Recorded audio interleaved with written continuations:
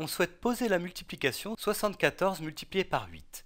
Choisir l'opération correcte. Donc on a trois opérations qui ont été posées, on a juste le résultat, et il faut qu'on trouve quelle est la bonne. Bon alors pour commencer, je vais moi-même poser cette opération, poser cette multiplication, comme ça ça nous permettra de réviser un petit peu aussi cette manière de faire des multiplications. Alors ça consiste d'abord, hein, ce que je dois faire c'est écrire les deux nombres l'un en dessous de l'autre, mais en respectant les positions. Donc ici j'écris 74 multiplié par, en bas j'ai 8 et c'est 8 unités, donc je vais le mettre dans la colonne des unités ici, donc colonne des unités, colonne des dizaines, et la colonne qui est encore à gauche c'est la colonne des centaines. Voilà. Et ensuite ce que je vais faire c'est multiplier chaque chiffre qui est là par le 8. Donc je vais commencer par multiplier 4 par 8. Donc 4 fois 8, ça fait 32. Et 32, en fait, c'est deux unités que je vais écrire ici à la place des unités. Et puis 3 dizaines. Alors le 3 des 3 dizaines, je vais le rajouter ici comme une retenue dans la colonne des dizaines. Et puis ensuite, je vais multiplier le 7 par 8 ici. Mais ici, en fait, c'est pas 7 fois 8, c'est 7 dizaines fois 8. Donc 8 fois 7, ça fait 56. J'ai 56 dizaines plus 3 dizaines, ça fait donc 59 dizaines. Et 59 dizaines, je peux dire que c'est 9 dizaines que je mets ici.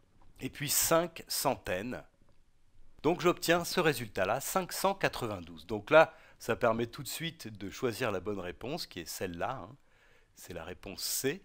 On trouve exactement ce résultat-là. Alors je vais quand même par curiosité aller regarder, essayer de trouver les erreurs qui ont été faites dans les deux opérations qui sont là. Alors ici, l'opération est bien posée. Et on commence par faire 4 fois 8. Et 4 fois 8, ça fait 32. Alors ici, il y a un 3, donc c'est 3 unités. Et puis il y a un 2 qui est là, dans la colonne des dizaines, qui est probablement la retenue. Donc ici, ça équivaut à avoir trouvé que 4 fois 8, ça faisait 23. Donc ça, c'est faux. 4 hein. fois 8, ça fait pas 23. Donc ce chiffre-là et la retenue sont fausses.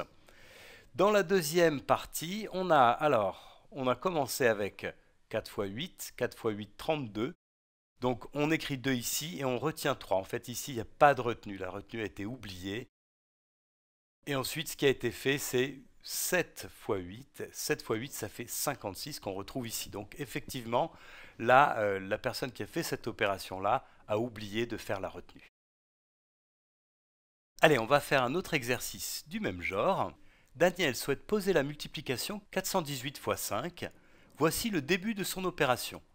Donc c'est ça le début. Et on nous demande par quel chiffre Daniel doit-il remplacer Y? Alors le Y, c'est celui qui est ici. Alors ça peut te paraître un peu incompréhensible au départ parce que on a une opération qui est posée, probablement pas terminée, et puis il y a un Y, une lettre, alors on se demande ce que ça vient faire ici. En fait, là, il faut se mettre à la place de Daniel qui a commencé ce calcul et comprendre à quoi correspond euh, ce qu'il a voulu écrire ici et ensuite déterminer sa valeur. Alors pour faire ça, ce que je vais faire, c'est poser l'opération. Donc je vais l'écrire comme ça, 418 multiplié par 5, là je fais exactement comme lui, j'aligne les nombres en colonnes. Et puis pour faire ça, la première chose c'est de multiplier ces 8 unités par 5. Donc on a 8 unités multipliées par 5, ça fait 40 unités. Alors là, le 40, je vais l'écrire en fait comme 4 dizaines. Donc j'ai 0 unité ici, et puis un 4 que je rajoute ici, qui sont les 4 dizaines que je mets dans la colonne des dizaines. Donc en fait, tu vois que quand on fait ce calcul, on est amené à faire une retenue dans la colonne des dizaines qui est ce 4. Et en fait, le 4 ici, ben, c'est exactement le Y que Daniel devrait mettre ici. Effectivement, là, quand on fait le calcul, il a bien fait 8 unités multipliées par 5, ça fait 40, donc il a écrit 0 dans la colonne des unités, et il doit mettre les 4 dizaines qui sont là dans la colonne des dizaines. Donc la retenue, ici, c'est y qui doit être égal à 4. Hein. Quand on écrit 8 fois 5, ça fait 40. On écrit un 0 dans la colonne des unités et on retient 4 dans la colonne des dizaines. Alors on va quand même finir l'opération par curiosité. Ensuite, on va multiplier le 1 qui est là par 5. Une fois 5, ça fait 5. Donc j'ai 5 dizaines, puisque le 1 là, c'est une dizaine. 5 dizaines ici, plus les 4 dizaines qui sont là, ça me fait 9 dizaines. 9 dizaines.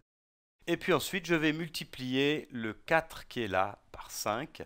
Et donc c'est 4 centaines fois 5, ça fait 20 centaines. Et 20 centaines, c'est 0 centaines ici et 2 milliers. Enfin, je peux l'écrire comme ça. Donc le résultat de cette multiplication, c'est 2090.